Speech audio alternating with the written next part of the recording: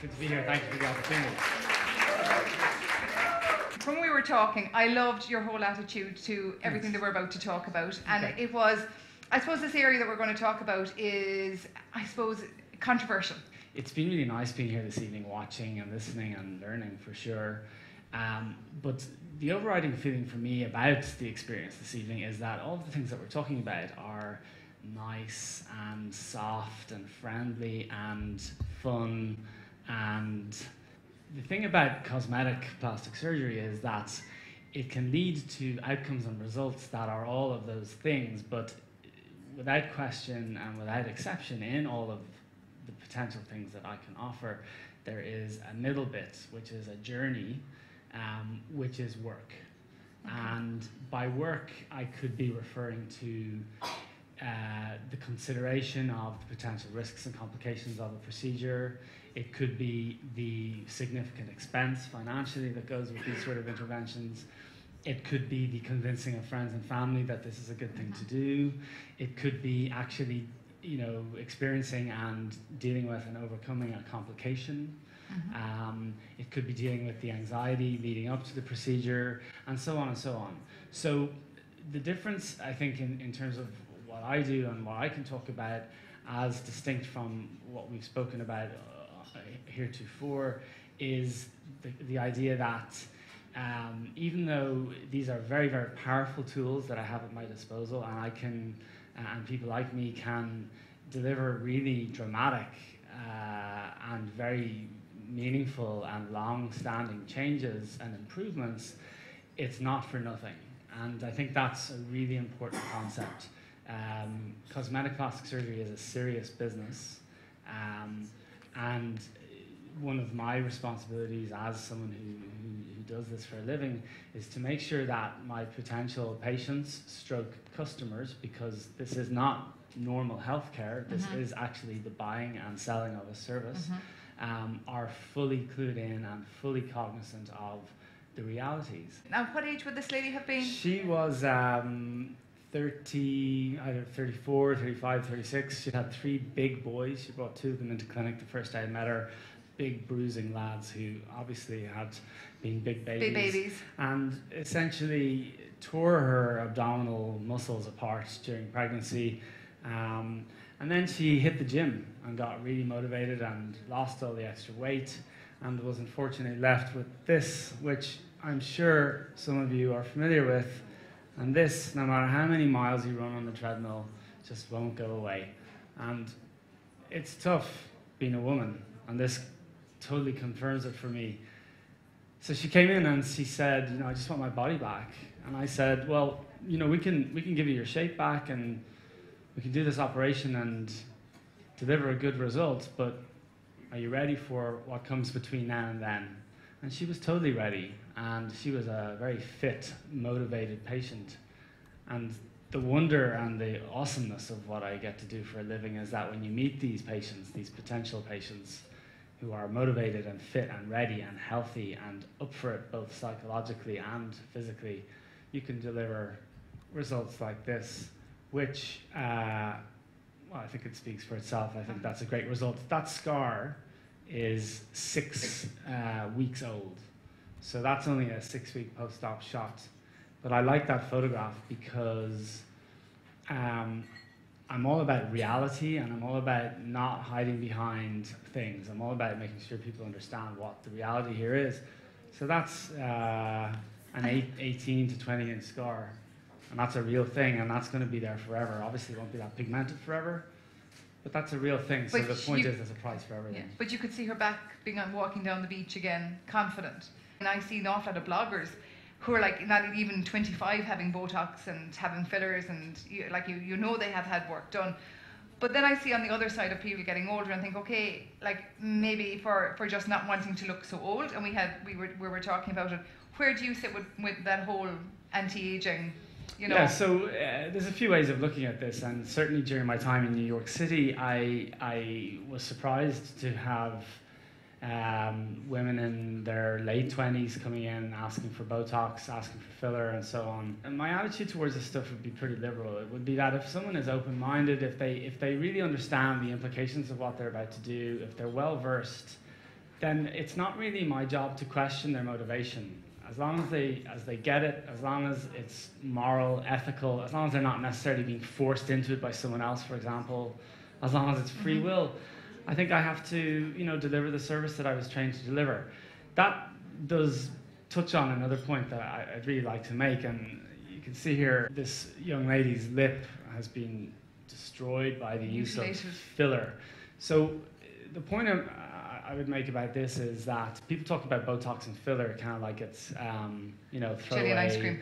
Pretty much. Um, and that kind of makes me angry. And I'm among a cohort of properly trained plastic surgeons in this country and beyond who are getting more and more exercised by this. And we're beginning to uh, try and make an impact online and social media and so on in terms of making people aware, making the public, the paying consumer aware that no matter how throwaway or flippant or minimalist these sort of interventions might seem, um, it's really not a good idea to either look for a bargain when you're talking about uh, an intervention, um, nor to uh, not do your homework as to how well trained or not your practitioner is. The truth of it is that anyone in this country with a medical degree can reference themselves as a cosmetic surgeon. Personally, I trained for 20 years from 1995 until 2015 until I felt confident and comfortable in using that moniker for myself. Um, I know people who went to medical school for five years and who used that term pretty much the day after they got their degree, and it's just wrong and unethical. So, the message from me and from people like me in the Irish Association of Plastic Surgeons is that if you are considering cosmetic interventions, be it small, 20 units of Botox, or be it big, a facelift, uh, you really should make sure that your practitioner is properly trained. A properly trained plastic surgeon knows what to do if and when this sort of thing happens. If you're in the hands of whoever, they're not going to know what to do here, and damage like this can, you know, be reversed in some cases. But if you're in the wrong hands, it certainly cannot, and that's just probably the overriding message I'd like to impart this evening. Um, just because somebody looks and sounds like a doctor and looks and sounds like they know what they're talking about in terms of a cosmetic intervention, it doesn't actually necessarily mean that they do know what they're talking about. Yeah, and I think like uh, I think we all do like bargains, but I think this is the one aspect that you can't bargain hunt for this. That you have to go to the proper professionals. You have to research where you're going and I think that you know, I mean, one question I would I had with you is that if you start an area, is it a cycle? You know, if okay, mm. I, I, hmm. have my tummy done and I hate my tummy because you know, and, and and this area sorted, do I start seeing extra areas? Good, qu- good question. Yeah, excellent. Um, it, it's work. Uh, it can be tough. Um, it can be hard going at times, in order to get the outcome and the end point that you desire. And some people just aren't built for that psychologically or mentally. And a key thing as somebody who offers the service is to be able to, to spot that person before they even know it themselves. Sometimes, however, they get through. Sometimes you do end up operating on people and, and, and realizing you know, that you know that, that, that person probably you know wasn't cut out for this.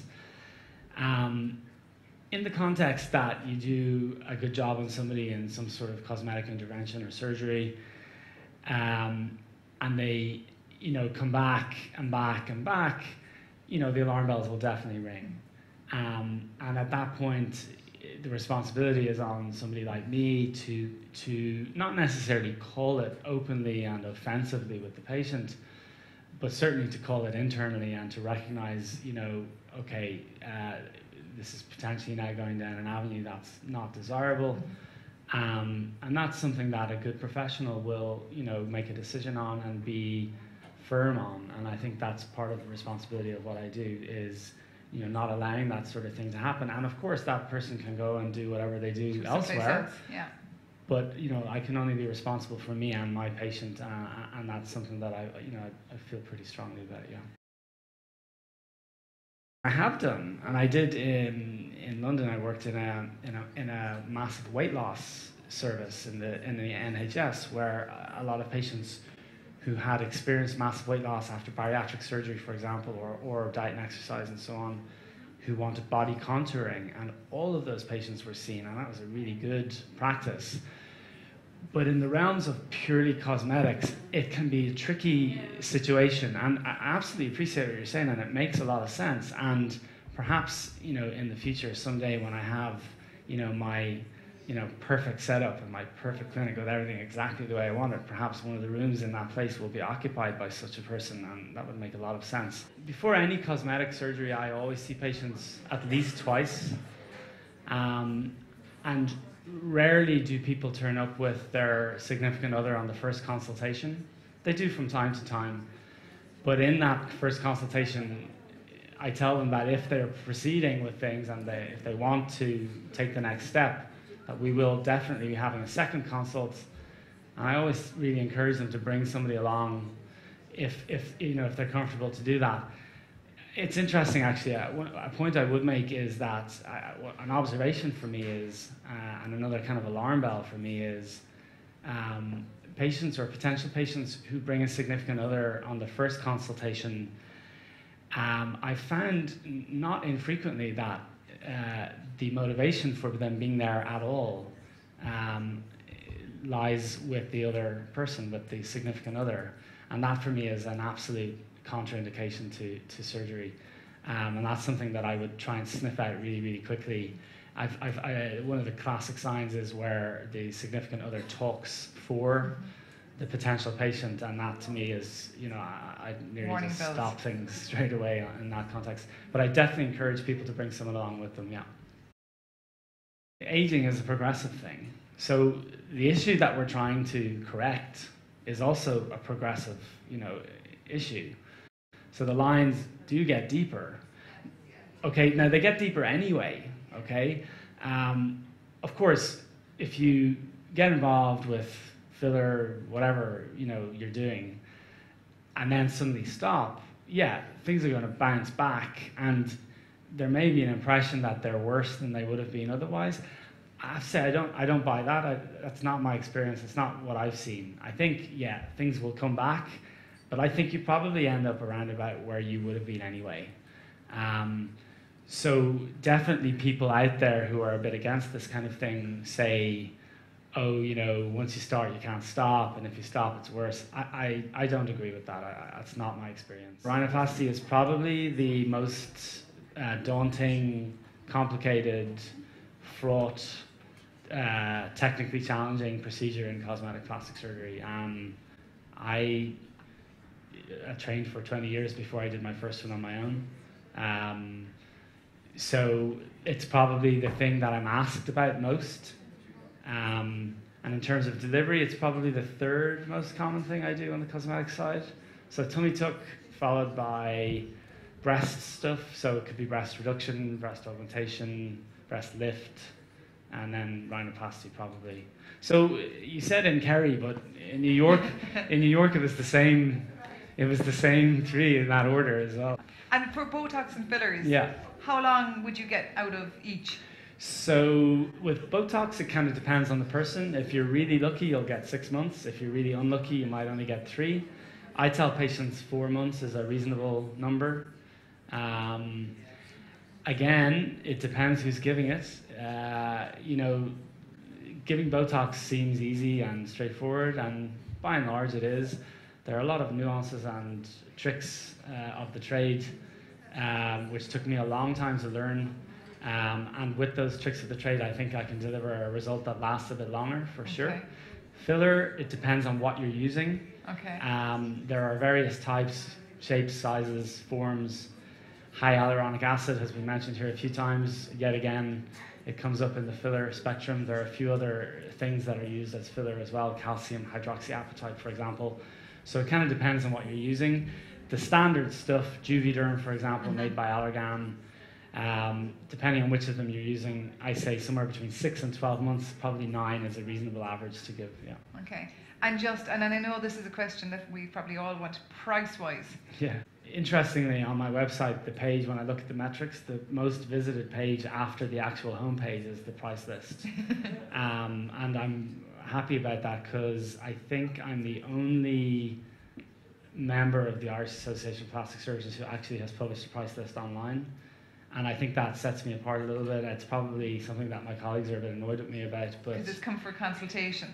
Um, On most websites, isn't it? Yeah, yeah, totally, exactly. And I think it's unfair. And I think people have a right to know, you know, what you're getting into. What's the bottom line? Or can basically. I afford it? Yeah, exactly. Yeah. So I like to be open about that. Dr. Dunford. Thanks. Thank you. Thank you. That was pretty scientific. Yeah, I said more science bits.